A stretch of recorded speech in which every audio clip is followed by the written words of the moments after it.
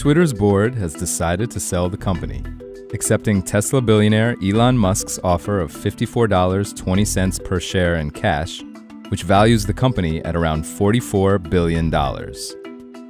Shares of Twitter added to recent gains and jumped more than 5% on Monday after the social media company formally accepted the buyout offer. The transaction was unanimously approved by Twitter's board of directors, with the deal expected to close later in 2022, pending shareholder approval.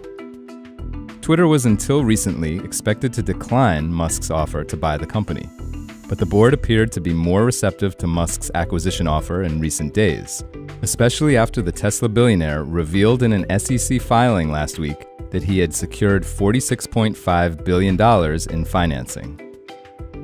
Musk has secured $25.5 billion of fully committed debt and margin loan financing for the deal, and is providing an approximately $21 billion equity commitment, according to a press release.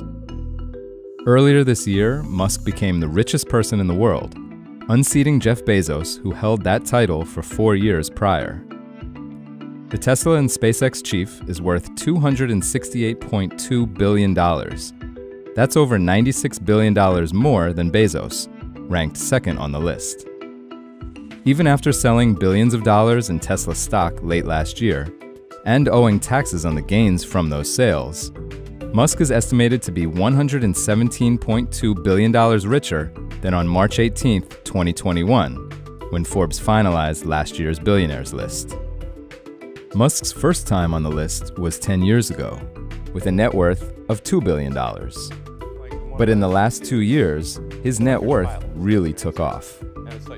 Musk owes his status as the world's richest person mostly to Tesla's soaring and volatile stock price. The volatility can be partially attributed to Musk's erratic reputation on Twitter. For instance, when he challenged Russian President Vladimir Putin to single combat after SpaceX started sending telecom gear to Ukraine. Tesla's stock has been criticized by some analysts and investors, and Musk himself, for being priced too high. But shares have continued to climb, gaining another 35% in the last year.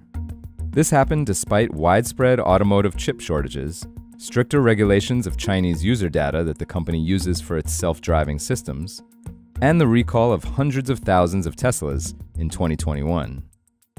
Musk owns about 21% of the company but has pledged more than half his stake as collateral for loans. Wall Street analysts were largely split when Musk first went public with his unsolicited offer to buy Twitter earlier this month. Some experts predicted that the soap opera would end with Musk acquiring the company, while others remained highly skeptical and downgraded Twitter's stock amid the uncertainty. The vast majority of analysts maintain a hold rating on Twitter shares as the market waits to see what happens with Musk's potential takeover.